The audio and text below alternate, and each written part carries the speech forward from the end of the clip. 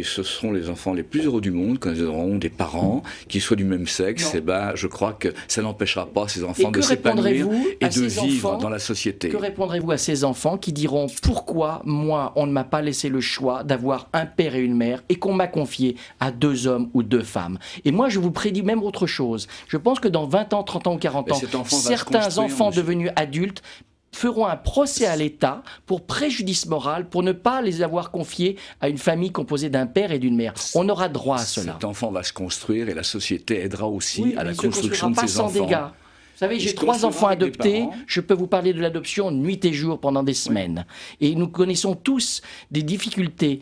Il faut savoir aussi qu'en France, mais comme partout ailleurs, l'adoption connaît beaucoup d'échecs. Ne chargeons pas le sac à dos de ces enfants qui ont subi déjà le traumatisme de, l'adoption. qui sont en échec en France. Hein. 50% je, je ne parle pas de cela. Hein. Je ne parle pas de cela. je, je parle des enfants.